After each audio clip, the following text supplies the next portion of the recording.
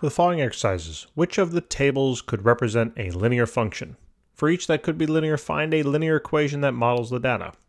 All right, so here we have a table and we have to identify whether it could represent a linear function or not. So what we have to remember, and I got it listed over here, is that li linear functions have a constant slope, okay? So basically what that means is that for every change in y uh, and change in x, that if you were to, let's say, take those changes for a few pairs, it must be the same. All right. So in order to approach this, what I'm going to do is I'm going to define the changes, all right, in X for each three pairs here, basically. I'm going to call this one pair. This will be then my next pair. And then this will be my uh, third pair, okay? So what's the what's the change in X value here between 0 and 5? Well, obviously it's 5, right? How about between 5 and 10? Obviously that's, that's 5 and then 10 and 15, obviously that is 5 again. So how about now we do the same thing for y? Okay, now you might say, well, where's y? Well, remember g of x, right? That Just scribble that out, call it y, okay? Same thing. So from 5 to negative 10, what's the difference between those two? Well, it simply would be negative 15, right? We can call it negative 15, right? We went from 5 all the way to negative 10. So it'd be negative 15. If you wanted to uh, work this out, right, or if you needed a formula, what you would do is you basically say we would take the second y value and subtract the first y value from it, y1. So the second one here I'm calling 10, so that'd be negative 10, minus then my y1 value of 5. And what's 10 minus 5? That's negative 15. That's how I arrived at it, all right? Okay, so let's do it for the next uh, set. So we go from negative 10 to negative 25. That sounds like it's negative 15 again. And then as well, we go from negative 25 to negative 40. So that sounds like negative 15 again. Now what we do is it's not just enough to know that, hey, these are all constant and these are constant. What we have to do is we have to divide the change in y by the change in x for each of them. And then determine whether those divisions are constant, those ratios, those slopes. So let's do that. So let's do, for the first one, it was negative 15 all divided, whoops, all divided by 5. And obviously that works out to be negative 3. Okay, what would we do for the red one? Well, same thing. We would take the negative 15 and divide it by the 5. And what does that work out to be? Negative 3, that's the same. And I think you get the picture, right? So since all of these now changes in y relative to the change in x, aka the slope. These are the slope, this is the slope. Since the slopes are now equal and constant, we now know that this thing represents a linear line. Okay? So it is linear. Now, of course, right, the problem can't just stop there. What we now have to do is we have to find an equation. So we now note that we did actually find the slope, right? We just mentioned that the slope here, remember, slope is always y2 minus y1 over x2 minus x1. Another way you could have written this is the change in y over the change in x. And that's just what we calculated here for each. We realized that the slope was a negative 3. Okay? And what you could do now if you wanted, pick any two points, like here, here's one point, here's another point, and you can plug it on into this equation if you like. Right? Just double check. But it will work out to be negative 3. So now what I need to do is I need to now find um, the linear equation, right, that models this. So remember, when we're trying to find a linear equation that models it, what they're really asking us for is to find y is equal to mx plus b and to know the slope and the y-intercept. Now what we do know here is we do know the slope, but we do not know the y-intercept. How do we figure it out? What do you think? Now the key lies in actually this equation itself. Now remember, y is equal to mx plus b.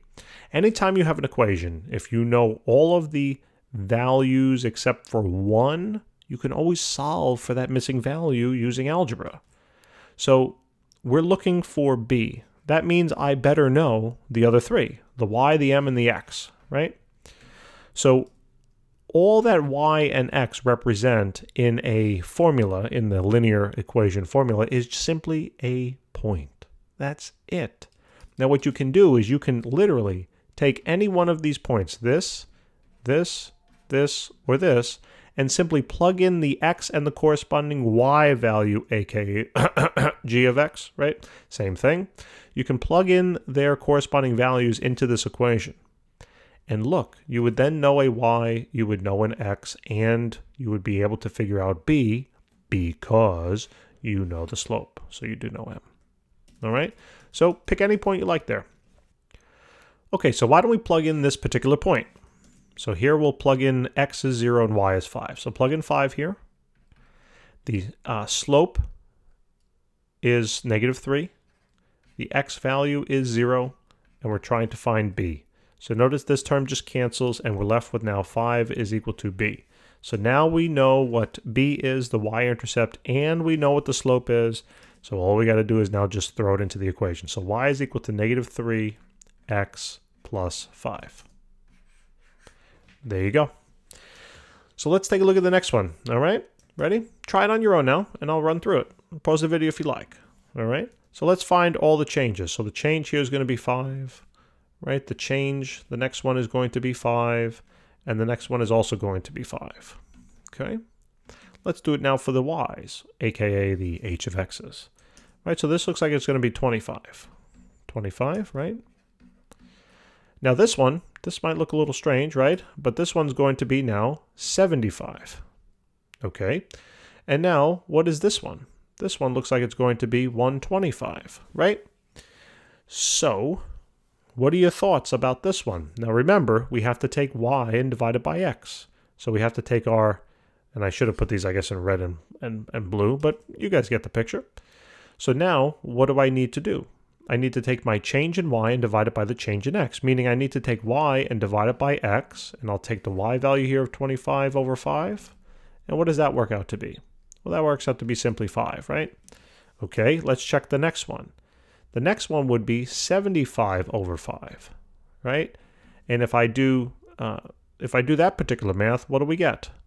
We're going to get 15, right? Now here's the problem. This is essentially the slope, right? The slope between the first two points was 5, and now the slope between the second two is 15? Linear functions have a constant slope. This doesn't look like constant to me. Okay, they have to be the same. So, that being the case, I can definitively conclude that this is not a linear function. So maybe not not, not not. Hmm. Maybe just no. All right. So now, let's do the last one. All right, let's find those changes.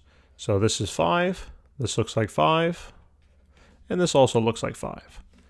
How about now this change? Well, that's actually going to be a positive 25, right? Positive 25. All right, this is also then going to be a positive 25, and this looks like it's also going to be a positive 25.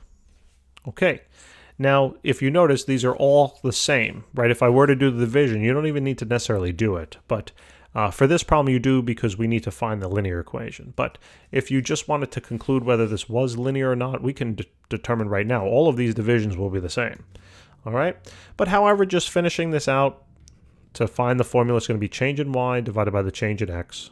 I know then it's going to be the y change that I found, 25 divided by 5. And obviously, this is going to work out to be a slope of 5. Now that I know the slope is 5, all right, I'll just erase all this now.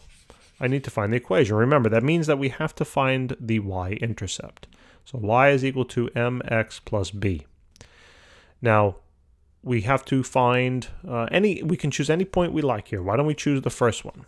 Okay, the first one's nice because actually it just cancels the slope, right? It's That's kind of, that's the little trick. So actually this is the answer already. So now what we realize now is we can plug in y, excuse me, we can plug in negative 5 for y, because remember, f of x, we just call that y, even though that looked like an x. I swear it was a y. This is going to be negative 5 is equal to the slope value of 5, then multiplied by the x value of that point, which is 0 plus b, and notice, b is equal to negative 5. Now just put it all together. So your formula will be y is equal to 5x minus 5. Voila. Guys, thank you for tuning in. Appreciate it very much. If you found this video helpful, please recommend us to your friends. Tell them to check out the videos. It's free, right? What could be better? Take care.